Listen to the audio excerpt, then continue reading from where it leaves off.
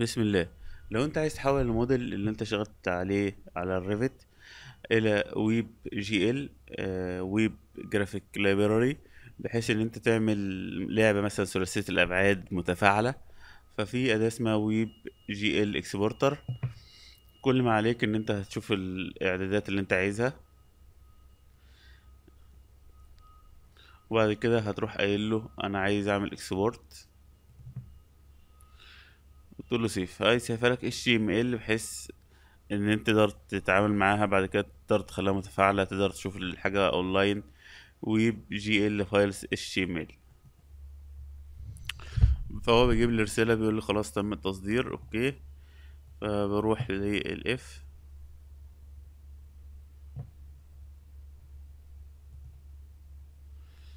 فبيبدأ يفتح ال- الموقع دوت.